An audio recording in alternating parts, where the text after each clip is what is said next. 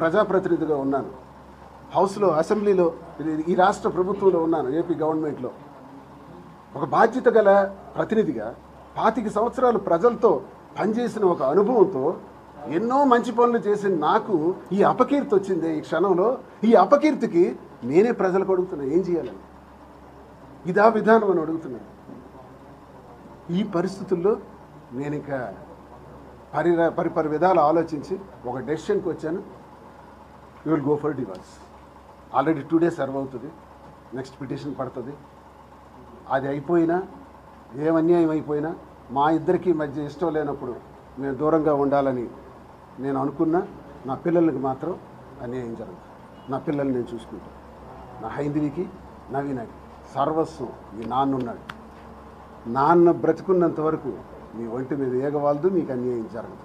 నాన్న చెబుతున్నాడు మీకు ఇష్టం ఉంటే వినండి ఇష్టం లేకపోతే వినకపోండి నా ఇష్టం ఉంటే నమ్మాలనుకుంటే నమ్మండి లేకపోతే లేదు. ఇంతవరకు నాన్న మీకు ఈ రోజు వరకు నిన్నటి వరకు ఎలా అయితే చూసినాడో ఇప్పుడు రేపు కూడా ఇంతకన్నా బ్రహ్మాండంగా చూస్తాడు అని నా హృదయం చెప్తుంది. నా హృదయపూర్వకంగా నేను చెప్తున్నటువంటి మాట. నేను నమ్మిన వెంకటేశ్వర స్వామిని మీద ప్రమాణం చేసి చెప్తున్నాను. నా పిల్లలకు అన్యాయం జరగదు. తనకు కూడా కావాల్సిన ఆస్తి రాసిచ్చాను. పాతిక కోట్ల రూపాయలు విలువైన ఆస్తి రాసిచ్చాను.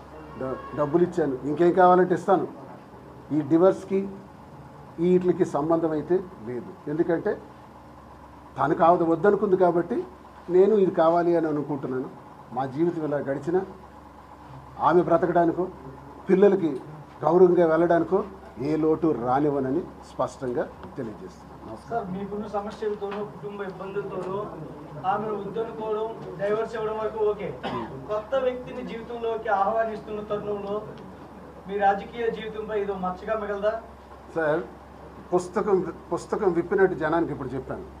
ఇందులో భాగంగా ఈ రెండేళ్ళలో వాళ్ళు తిండి ఒక ఏ ఏ సమస్యను కూడా నేను ఎలా ఉంటున్నానో కూడా అని ప్రశ్నించని నా కుటుంబం ఈరోజు ఇక్కడ ధర్నా చేస్తున్నారు.